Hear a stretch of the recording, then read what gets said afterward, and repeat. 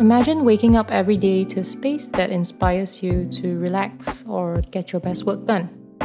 Welcome to my multifunctional home office, where I build my business, design, read, film videos, chill, and rest. These are my setup in the past when I lived in a rented property.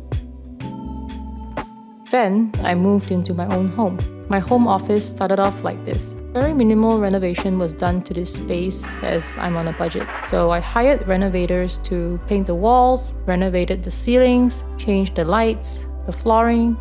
The vision for my home office is bright, cozy, productive, and multifunctional. Every space is different. So the space of my home office is tailored to four factors the layout of the space, the large, sun drenched windows, the hot and humid weather. Our lifestyle changes as we continue to evolve. My furniture should be multifunctional and modular so I can easily move things around. To design the space of my home office, I mix and match images of furniture colors, patterns, and textures that reflect the style that I want to achieve. I've tried out different combinations until I found the right layout for my home office. To do all these, I use Milanote, the sponsor of today's video. This board helps me to plan my ideas easily and bring my vision to life. I can write notes, create checklists, annotate, and make quick sketches all in one place. Whenever I see an inspiration for my home office, I save it using the Milanote web clipper, drag it, and it's in my mood board. You can choose from hundreds of templates for free, like UI UX design, filmmaking, and brainstorming. This tool is super easy to use. You can also share your work with others, collaborate in real time to gather more inspiration. Sign up to Milanote for free using this link and start organizing your creative projects. I went with white walls as the safest option.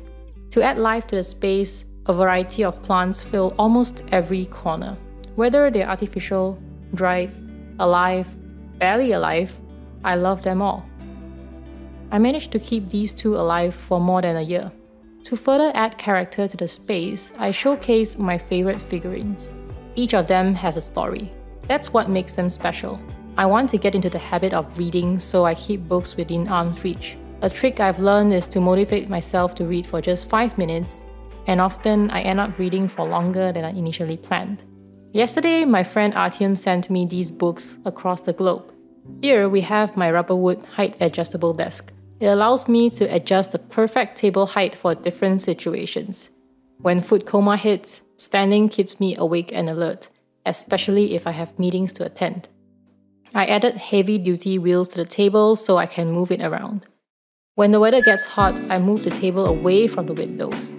I bought these stick-on cable management trays online so I don't need to drill any holes into my table. It's large and strong enough to hold all these. I dock my MacBook on the Grove-made maple wood dock. The merino wool felt lining protects my MacBook, and the beautiful craftsmanship adds a warm touch to my space. Last year, I switched to the 14-inch M1 MacBook Pro with 32 gigs of memory I have zero complaints about it. The fan is silent, the performance is tip-top, and I just love how the classic silver color looks. Connected to my MacBook is my 4K monitor. It comes with the Ergo stand with cable management built in. The resolution is good enough for UI UX design as I can see design details on Figma and the color is accurate. The only complaint I have is that my eyes still feel tired if I stare at the monitor for a while.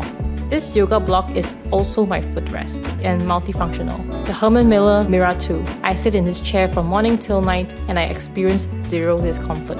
To keep things organized, I have the large Grove-made desk shelf made with maple plywood and natural cork. On top, I have their pen holder which only contains stationery that I use often the HomePod Mini has a small footprint. I use it to control my lighting, listen to podcasts, AirPlay music from my MacBook, or just chat with Siri when I'm absolutely bored. In a desk shelf, I have my notebooks, a to-do list, AirPods Pro, solid state drive. Say hello to my latest fascination. It's a cup warmer. It's compact enough to hide under the shelf. It warms my beverage almost immediately. This phone stand is super versatile. I can place my phone, my iPad, a to-do list, a remote control. So to charge my phone, I use this cable, connect it to my laptop, and I'm done. Beside it, we have the Grove-made maple wood dish, I'm using the Apple Magic trackpad paired with the sleek Apple Magic keyboard. They're all wireless and I charge it using the same cable that I use to charge my phone with. If I'm in the mood for a mechanical keyboard, I use the Keychron K3 wireless mechanical keyboard with red Gateron switches. Meet my multifunctional IKEA trolley paired with a bamboo chopping board as the lid. Yes, this is a chopping board. When filming, it stores my camera gear for easy access. I attached multifunctional crab clamps and magic arms to the side of this trolley. It holds my camera monitor and audio recorder. I had these wardrobes custom made to fit not only my clothes and stuff, but also filming gear like my tripods and light lightbox. These side cabinets also stores my filming gear, organized in Ziploc bags and labeled with washi tapes. At night, you will find me at my desk working on projects that I love. Lighting creates atmosphere. My lights are connected to my phone. I can dim the lights and adjust the color temperature so that it doesn't strain my eyes. So I try to match my monitor brightness with my room lighting. These lights are from IKEA, but I swapped the light bulbs with the Xiaomi Mi Smart Light Bulb. My bedside lamp is the Mi LED desk lamp. I also carry a pair of blue light glasses wherever I go. It helps to relieve migraines and eye strain. To relax, I love natural room sprays with essential oils. A blend of the right essential oils gives us different benefits like helping us to relax or improve focus. But if I were to only choose one, I'd go with Aesop's Ginger Flight Therapy.